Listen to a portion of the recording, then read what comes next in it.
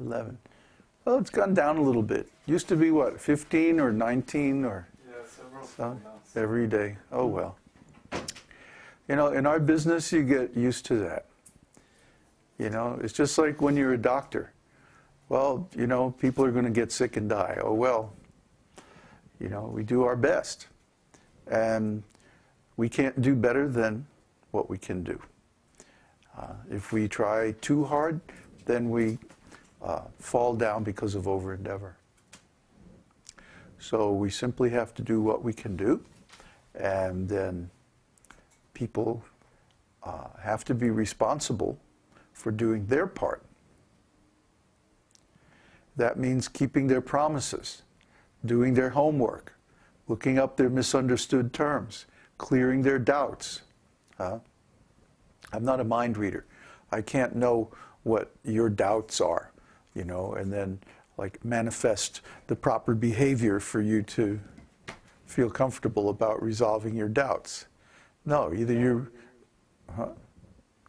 oh, either you resolve your doubts or you'll fall down. It's really up to you.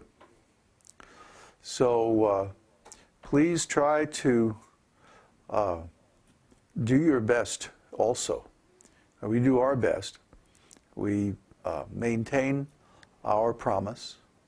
We give this knowledge without freely, without any uh, payment. Uh, you can just log on every day at 6:30 and see the darshan. I mean, where else can you do that? Uh, there's no other Krishna temple in the world that's doing this. No other devotees in the world that are doing this. So, uh, if you come and associate with us, hear from us, then you should be developing faith. And if you're not, it means either you're breaking the principles or you're making some offenses or you have some serious misunderstanding. And uh, I can't clear your doubts for you. You have to do that yourself. All the knowledge is there in Srila Prabhupada's books, but you have to read them and think about them. Huh? Uh, this is also the only group of devotees in the world that's going to tell you to read and then think about what you read. Huh? Everybody else is going to tell you read a little bit and then surrender. no, that's not going to work because you're going to have doubts. So read everything and then think about it and then surrender. And then you won't have to change your mind because of doubts or weakness of heart or offenses or whatever. But we see so many people come and go. It's really a shame. If people would just take this teaching at its face value, huh? the dictionary meaning of the words, don't speculate. I see a lot of people with so called intelligence who speculate on the meaning of this teaching. And they drive themselves crazy. They give themselves all kinds of negative thoughts and feelings uh, because they allow their minds to, to speculate on this philosophy when they should be looking up the meaning of all the words and clearing all the words. Huh? What was there that instance today? What was that word? Ontology? Oh, ontology? Oh, no. You were talking with somebody. Tell the story, Uddhava. Grab the mic. Give him the mic.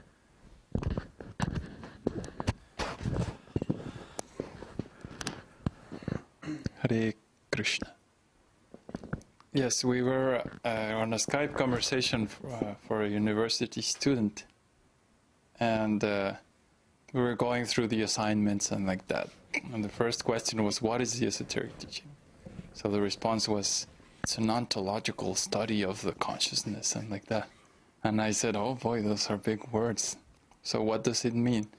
And and uh, as soon as we found the first word, there was a completely complete misunderstanding of the meaning Ontology. of the Right. word ontology. I don't know how many times we've discussed the meaning of ontology.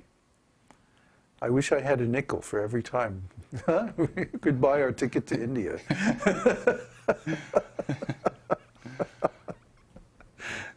well, maybe a dollar. Yeah, a little more. inflation. But that's, that's a $2 word, so that's a discount. Hmm. A dollar. Ontology. Ontology and consciousness are very deeply related. If everyone understood just the meaning of these two words clearly, then they would understand the whole esoteric teaching. You, you can't have consciousness without ontology, because the ontology gives you the background and foreground and their relationship. Do you want a roll of tape for that? I have tape in the bedroom. yeah. No, Ananda it's- Vard. it's working. Well, okay, don't fix it, it ain't broke. But if it goes off again, there's a roll of tape in the bedroom. Um, if you understood the, really the meaning of consciousness, what it is, and then you understood the meaning of ontology, what it really is, how it works, then you'd be in a position to understand everything.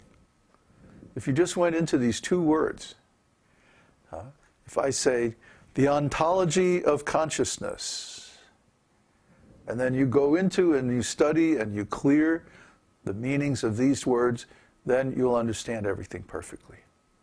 But to do that is probably, I don't know, a two year study. It's a big piece of work. Kana, you've been with us, what, a year and something now? Mm-hmm. Are you starting to feel like you understand what's going on? Yeah, Good, take the mic. yeah, pop quiz. What is ontology? No, I want to know how you feel about. Remember when you first came, we would have these these long discussions at. Oh, at tell tell us about that. Uh, sometimes during those evening darshans when you were talking, I just felt so useless and frustrated and just like so swamped with misunderstood terms. And it was actually quite desperate. I was like, ah, I actually sometimes I dreaded it. I was like, oh no, here we go again. I'm going to sit here and feel like an idiot. So, but like you know, as you said, look up the words and the terms and, and keep at it and keep working at it. And like look, looking up, looking up at once isn't going to help. You have to keep looking it up, Right. And keep researching it, and just keep going. Because guess what? You have misunderstood terms in the definition. oh, big time! It goes deeper and deeper and deeper, and sometimes you go, ah, See? it go on forever trying to clear up all these mistakes. But you just have to keep at it, keep plugging away, keep mm-hmm. beating at that wall until it finally cracks down, and mm-hmm. you start seeing some light coming through. And you go, oh, okay, Yeah. yeah.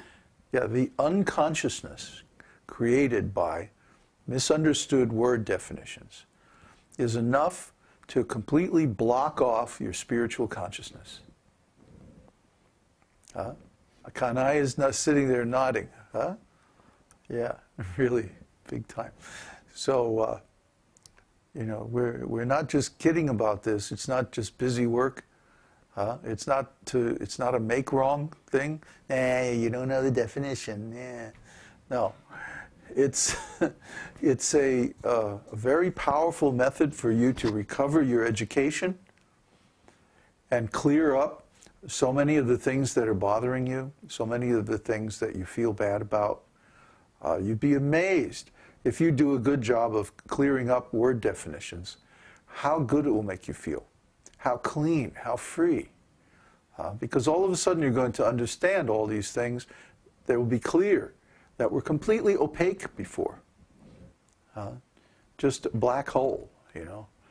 And, and what happens is that that black hole of emotional charge from a misunderstood term sucks away your attention 24 hours a day, leaving you less attention, less consciousness for other things. This is a fact. So as you clear up all of these misunderstood words, the conscious, the unconsciousness caused by them gradually lifts and, and disappears and evaporates. And what you have left is clear meaning. Huh? Our ontological disease is that we don't know the actual meaning of anything.